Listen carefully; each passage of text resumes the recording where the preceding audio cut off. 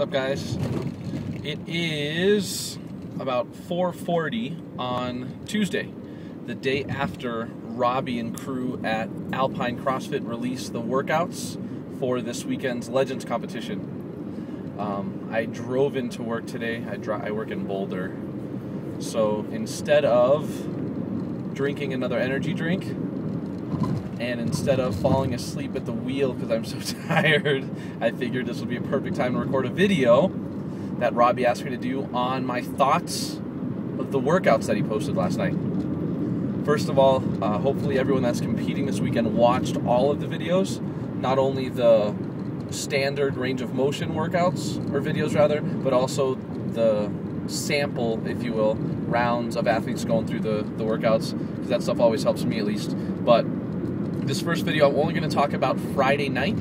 So that would be events one, two, and three, technically.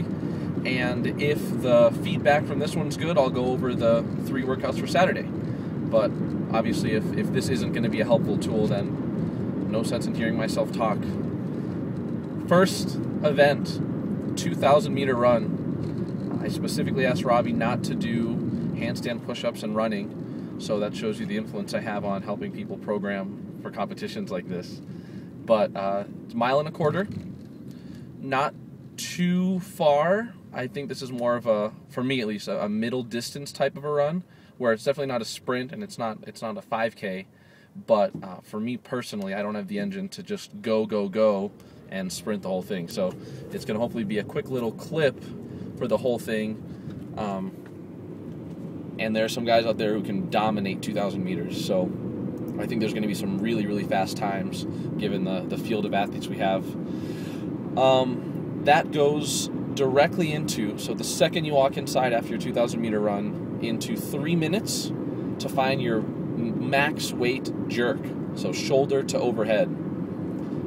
Then, from the start of the run, 20 minutes after that, everyone is going to go through a 100 second bear complex at 135 for men and 95 for women. So it doesn't have to be a strict bear. The bar can rest on the ground, but um, those three events in combo make up make up Friday night. So run 2,000. As soon as you get inside, you get three minutes to find a max shoulder to overhead. Bar is going to be racked, and then you do uh, one one minute and 40 second bear as many full rounds of power clean front squat, shoulder to overhead, back squat, shoulder to overhead equals one. My thoughts on how I'm going to approach it. Uh, the run is going to be medium to quick. I'd like to pace it, but not be completely gassed by the end. So uh, I have some sort of core strength left to go into those shoulder to overheads, the jerks. I'm probably going to set a weight that I'm very confident I can get.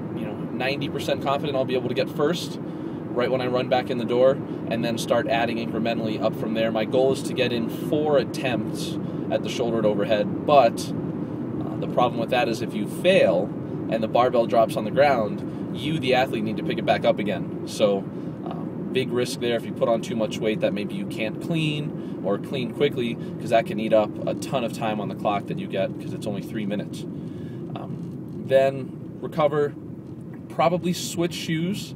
I will not switch shoes for the max jerk, but for the bear, probably throw on my weightlifting shoes. And then, um, depending on how fatigued I am and how out of breath, I'm debating on how long to try and touch and go, basically right into the next round, right into the next rep, versus um, singles. So just bailing after the back squat to, to shoulder press, or to push press, I guess. Um, realistically, I'm hoping to get maybe three to five rounds right away without dropping the bar because I think I can do five hang power cleans pretty easily at 135 or power cleans rather. So then from there I may have to go singles, but just bail at the top, shake it out, get right back up to it, and, and do it again. My goal personally for placement, I don't think I'm going to be near the top of any of these things, but I also don't think I'm going to be near the bottom. So given the, the athlete group, I think my goal is going to be in the top 40% of everything. If someone's really fast but not very strong, they'll rank very high on the run, but then potentially low on the other two. If someone's not very fast, but is really strong. I don't know if I just use that same example, but you know what I'm saying. The opposite of that. If they're not very fast, but strong, they'll probably rank low on the run and pretty high on the strength focused things, the the bear and the max shoulder to overhead. So my, my goal is to be in the, the top 40% for everything, and then hopefully being somewhat even in my rankings will will boost up my overall ranking a little bit. That's my approach to Friday night.